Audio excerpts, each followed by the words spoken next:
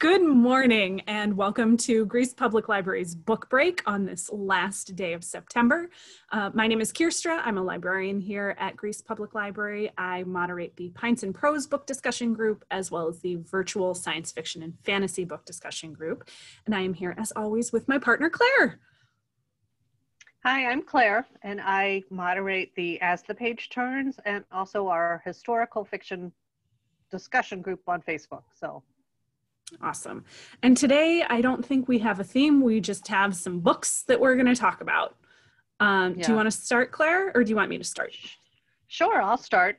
Okay. Um, I didn't really intend to go with a theme, but I have gotten all mysteries. So I'm just going to ah, say this secret is theme. Claire Day.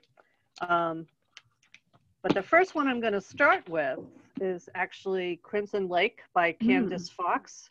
And um, I'm going to say if you like Jane Harper or those Australian mysteries, you might want to delve into this series. I started because I really just read the last one, which is Gone okay. by Midnight, but that's number three in mm-hmm. the trilogy, but or not trilogy, but in the series. But I honestly feel like this is one where it's better to kind of start with the beginning because the backstory is so important in who the characters are. Mm. Um, our main character is Ted Conkaffey, who is a police officer. He's on like a drug and murder investigation squad. He has gone on a fishing trip. He stops at the side of the road at a bus stop to kind of rearrange his fishing equipment, gets back in the car and leaves. But moments after he's gone, a young girl at the bus stop is brutally assaulted. Um, and he is on cameras having stopped there and is blamed for this. So um, his whole life is forever changed in this moment. His career is in tatters. His wife wants to divorce him. He is dogged by vigilantes, even though um, he is charged but not convicted. Mm. So he li- he ends up leaving his life and he goes to this very remote part of Australia called Crimson Lake, which is you can just feel the atmosphere. There are crocodiles in the pond. Um, it's kind of a place where people go when they have nowhere else to go. Mm-hmm. If they kind of want to get out of the main society. Um, so there's one person that actually believes his innocence strongly, and that's his attorney. So his attorney wants him to get working, kind of get back his life back on track. So he pairs him up with another outcast in Crimson Lake who is um, Amanda Pharrell. And Amanda was convicted of murder when she was a teenager. She served eight years in a correctional institute, mm. and she is quite a character to say the least. Um, so these two begin working on a case. Um, they have a private investigator business, and um, a prominent local author has gone missing and what I can liken his books to are that Left Behind series, mm-hmm. where there's kind of like apocalyptics. It's very popular with young people because it mixes the Bible and werewolves and such. So anyway, he sold 10 million copies, and now the man is gone. Um, but the interesting thing about this is the way Ted begins to not only look into their current case, but also he's trying to figure out Amanda. Um, so he's going down an avenue of investigating what really happened because he just, there's too many parts of it that don't jive to him. Um, so he wants to really know what happened on the night that she was convicted of murder. And it is a barn burner reading this book. Um, the next one was was pretty good, but the third one I thought was the best in the series. But mm. like I hmm. said, go to the beginning, start with Crimson Lake, um, Candice Fox is also um, a writer for some of James Patterson's books. Um, not that that's a selling point oh, for okay. me, but she sure. definitely knows how to construct a thriller mm-hmm. mystery.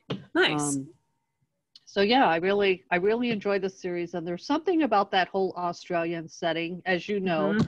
because we're both big Jane Harper fans. Yes. Um, that really, really resonates with me and lets mm-hmm. me escape to a different place. So yeah, I think that's a lot of it. It's it's so completely different mm-hmm. than than our life here in the states. I think that's a big a big draw for me. Nice. All right. I'm going to have to definitely add those to my list, my ever growing stack. I know.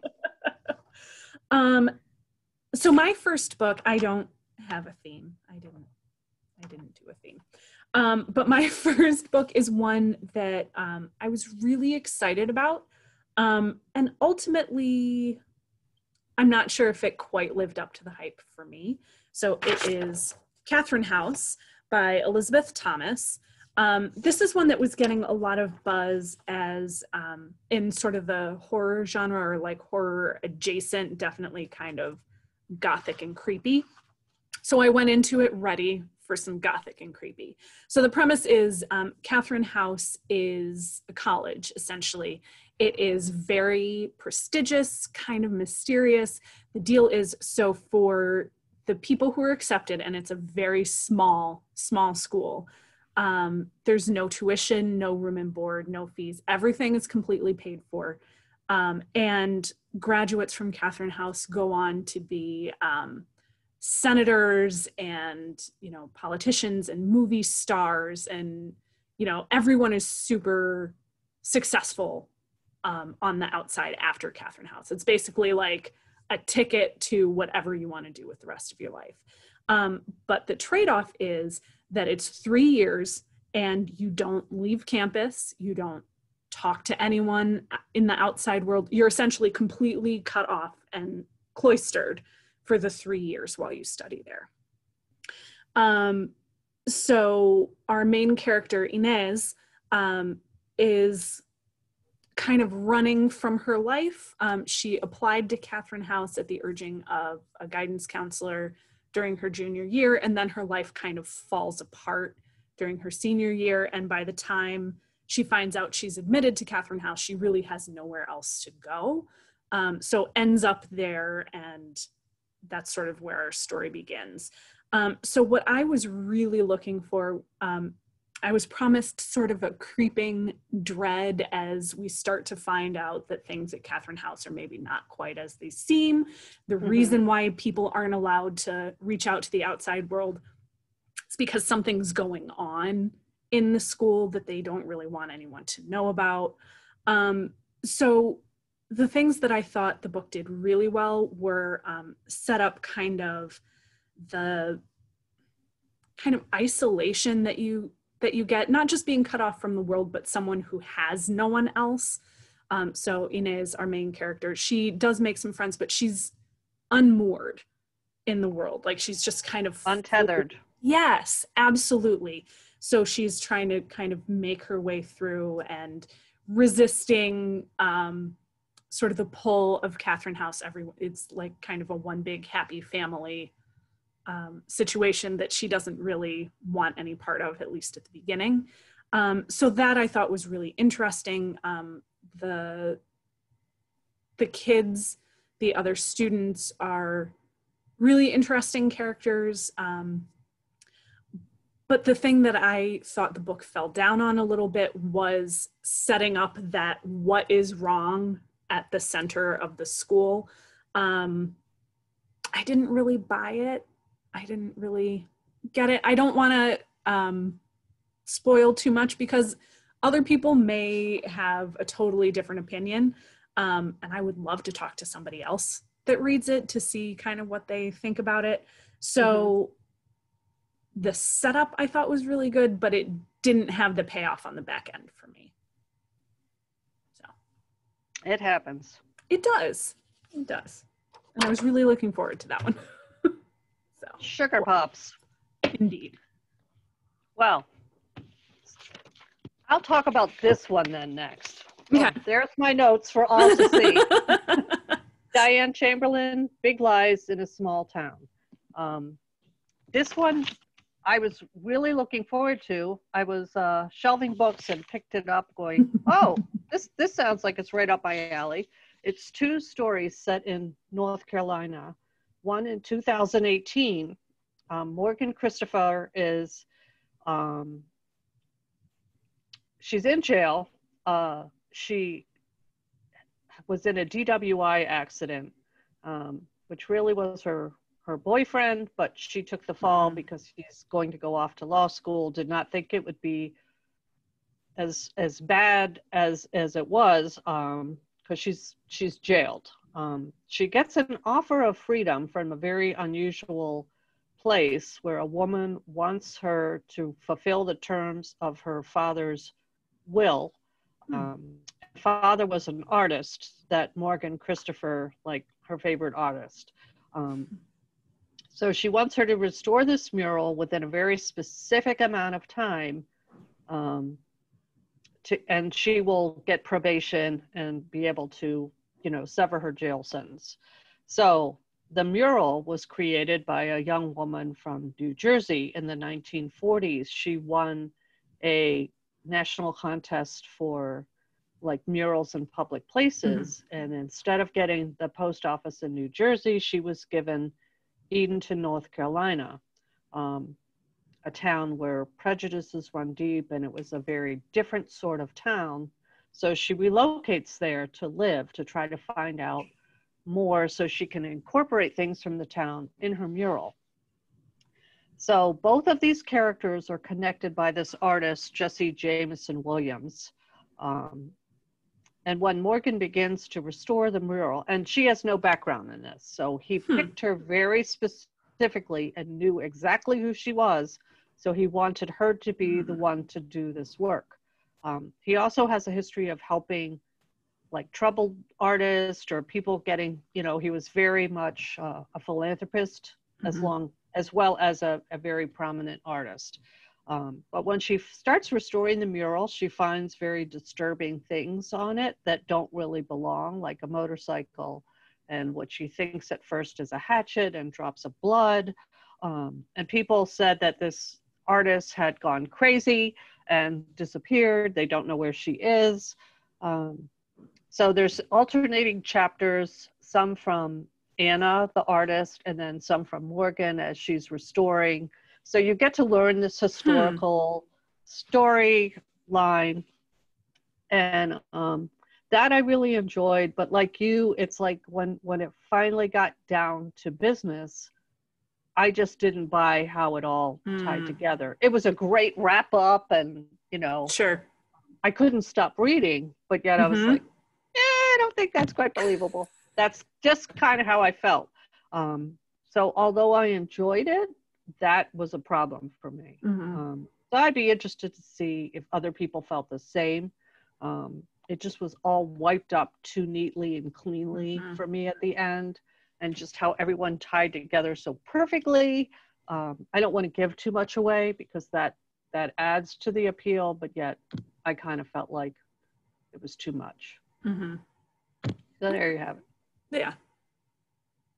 I mean, you read enough books, you're going to get some ones that, eh, you know. And I think sometimes that's part of the problem. You know, it's like it's the Claire factor. You know, I start questioning everything, and you know, Mhm. uh, it's like people won't watch movies with me because I start asking questions. Oh, no. like, Shut up, Claire. You know, yeah. But sometimes, just- you know, I can't help myself. absolutely. Um, all right. So my next book, um, I actually liked a lot more than the first one. I thought it held together. Um, so my next book is The Deep by Rivers Solomon. Rivers Solomon is the author of An Unkindness of Ghosts, which I know I talked about in one of our earlier episodes. It was, I think, the first book that we read for the virtual science fiction and fantasy group on Facebook. Um, so this book has kind of an interesting origin story.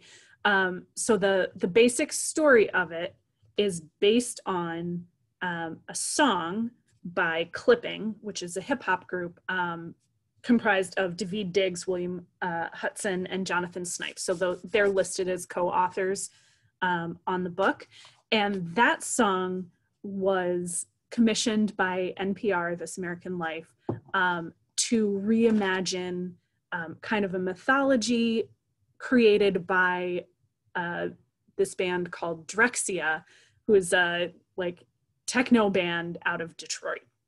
So there's like um, there's an afterword by Daveed Diggs, and he kind of likens it to a game of creative telephone.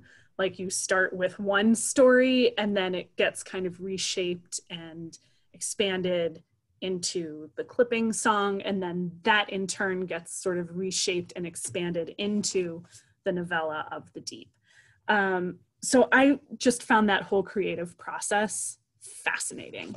Um, but the book itself, the the basic story um, that all three iterations um, start with is uh, it's so the basic premise is what if when um, during the Atlantic slave trade, slaves were often thrown overboard from the ships for various reasons, like they died, they were dying, whatever, they would just get tossed overboard. Um, so the premise is the pregnant slaves who were thrown overboard, um, their babies um, were born into the water as sort of hybrid sea creatures, almost like mermaids. Um, so they're sort of born of this trauma, but create a whole new society in the ocean that's sort of connected to humans, but very different. Um, so that's the basic premise. In the book, um, the main character is Yetu, and she is um, the historian of her people. So the um, most of her people they don't carry memories of where they came from. They very much just live in the moment, um, and it's the historian's job to hold all of those memories and to share them when they're needed. So really what we're talking about in addition to the creation of their society and you know each um, successive generation we're also talking about the memories of slavery and the slave trade and the traumatic beginnings of their people entirely. So it's a lot to carry um, and she decides that she doesn't want to carry it anymore and sort of breaks away. And the rest of the book is her sort of reconciling with this generational trauma and the pain of these memories, um, but also the need for society and connection and the need for history and remembrance. Um, so it's really quite a beautiful book. Um, it's short, it's a novella. Um, and it, if you listen to the song by Clipping, which is available on YouTube to listen to, um, it does follow kind of the same beats of the song, um, but with a new layer kind of wrapped on it.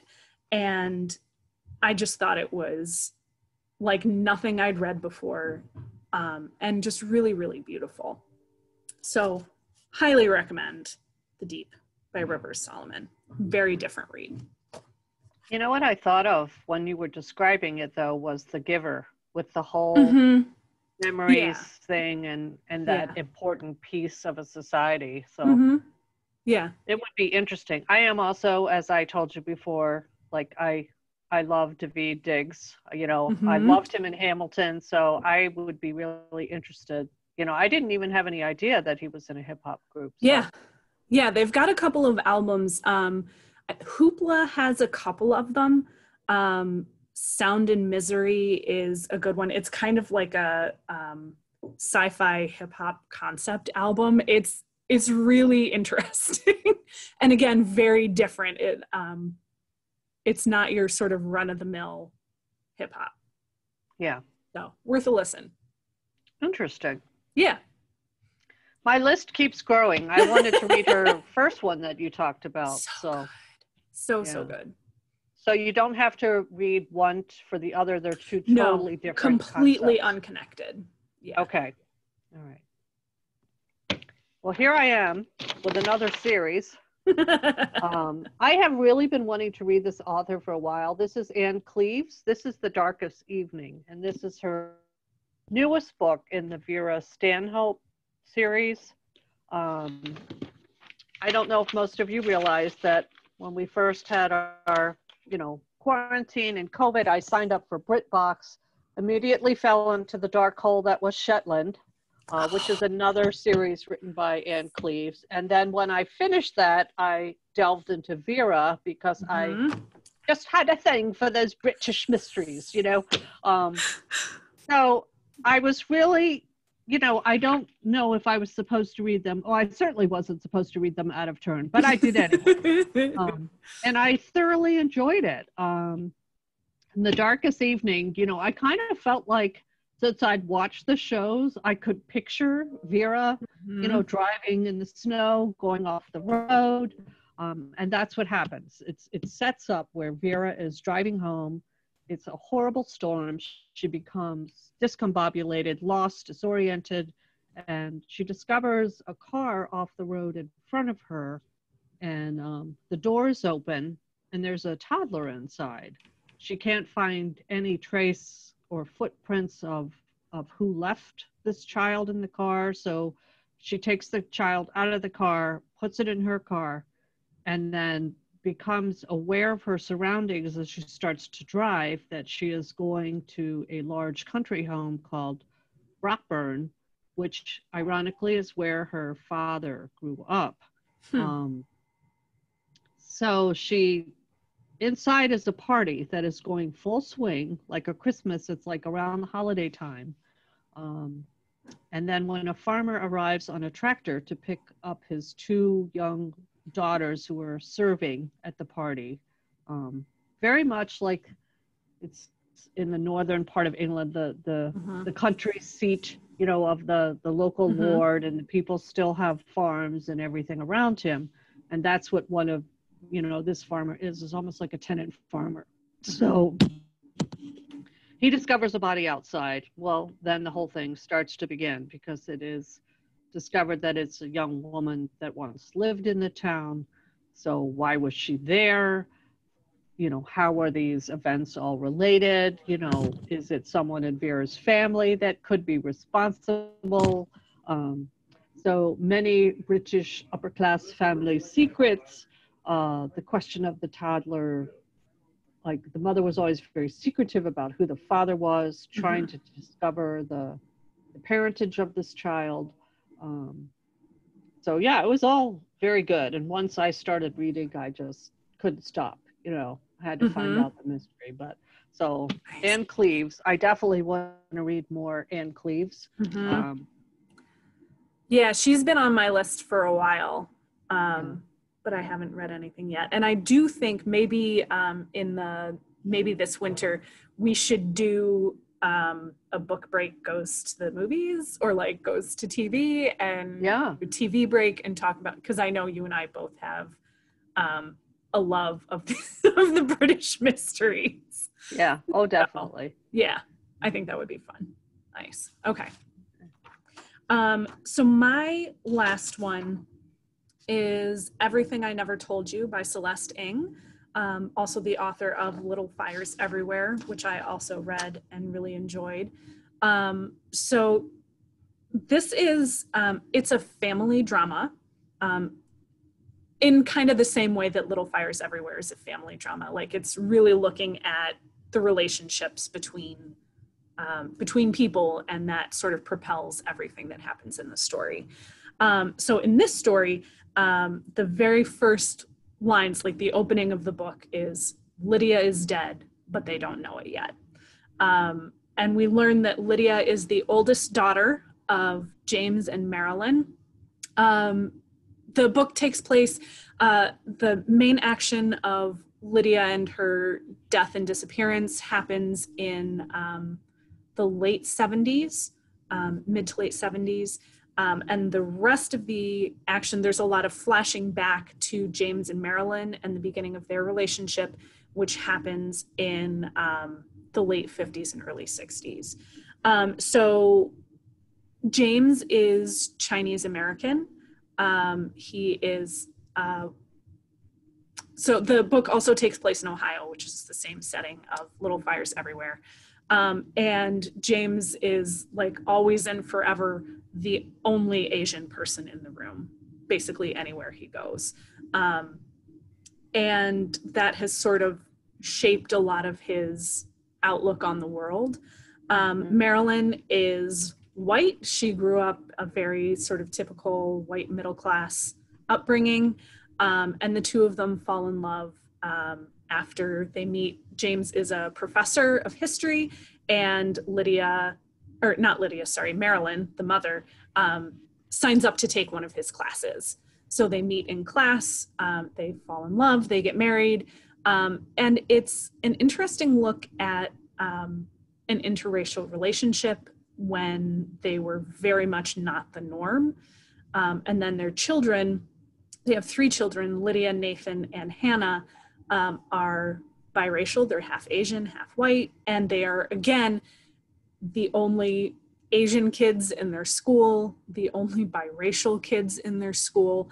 And it's, um, and so there's a lot of looking at sort of how the kids sort of straddle those two worlds and then the very different perspectives that their mother and their father bring to that like the the white parent and the asian parent um, so there's really a lot of exploration of um, you know how different perspectives sort of shape um, your reactions to things and your perceptions mm-hmm. um, and then also there's a lot about how parents sort of put their own expectations onto their children mm-hmm. um, in a way that is not always healthy. Um, and it's so it's a really sad book in a lot of ways. I mean, Lydia dies, like we know that from the very beginning. And you, the author does a great job of sort of building up how she got to the point where she died. And there's a lot of ambiguity about um, whether it was suicide, whether there was someone else involved. Um, but the everything I never told you really refers to um, a lot of that baggage that we bring to our relationships, either with a partner or with our children, just the assumptions that we have and how that can um, really damage a relationship between two people. Um, so sad in a lot of ways, but beautifully written. And um, it's not all just a joyless bummer. Like there, there is some hopefulness at the end. Um, but uh, I really, really liked it. It would be another great discussion book. Um, I, I actually tried to get my book group to read that one. Yeah. Um, couldn't get them to go for it, but it's been on my list for a long time. Yeah. And as you know, you know, I have a lot of personal connection that would make that story interesting. So, mm-hmm. yeah. Absolutely. Yeah. So, yeah, some good ones, some mediocre ones, but yeah. Yeah. a lot to read as always. So, uh, yeah, absolutely.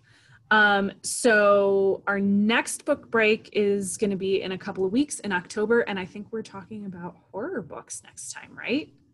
Or scary books. Yeah, I'm gonna do my best. Claire the big old chicken talking about yeah. scary books. So well, but you know, your scary and my scary might be two different yeah levels of scary or kinds of scary. So I think that that works just fine. Yeah. All right. So we will see you in a couple of weeks. And please do let us know in the comments um, if you've read any of the books that we talked about. We would love to hear your opinions. We always want to know what you're reading and whether you're reading the same things that we are and what you think about it. So yep. drop us a comment and we will see you next time. Take care.